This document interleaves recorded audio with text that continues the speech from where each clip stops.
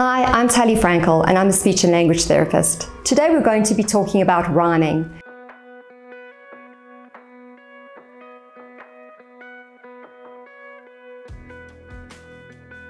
Rhyming is one of those critical pre-literacy skills. It relies on a child's ability to hear two words and to be able to discern where they are the same and where they are different.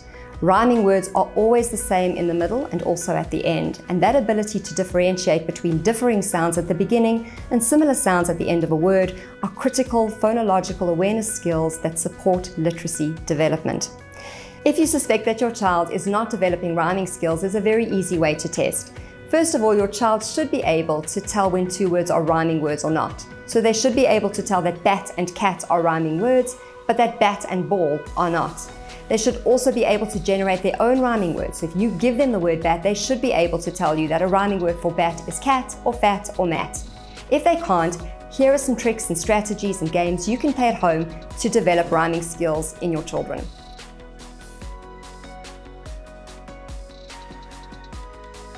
First of all, you can use pictures and ask them to say the names of those pictures. Encourage them to really hear the ends of those words and gradually build up their ability to hear when two words are rhyming words or not.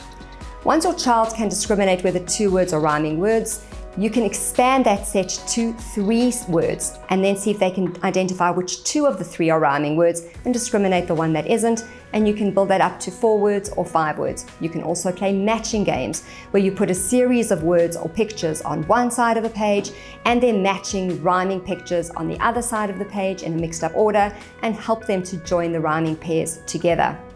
Another fantastic way of developing rhyming skills is to use books that have rhyming schemes in them. So, Dr. Seuss, Julia Donaldson, these are fantastic books that all have rhyming schemes built into them.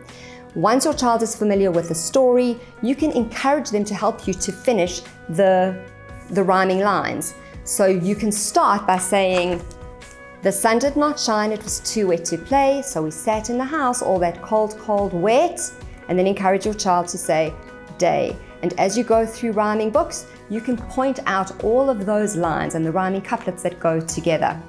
Another thing you can do is there are lots and lots of commercially available games like rhyming lottos and bingos where you have a board and you place cards on the table and you each have a chance to pick up a card and then match the word to its rhyming counterpart, nest and vest. You can also do things like make up silly rhyming stories. So for example, you may start by saying, there was a bee who lived in a tree. Then get your child to say something like, he invited me for tea, but I hurt my knee and I went off to the sea and see how long you can go developing different rhyming stories and encouraging different rhyming play. If you remain concerned about your child's ability to either identify or create rhyming pairs, please don't hesitate to contact a professional.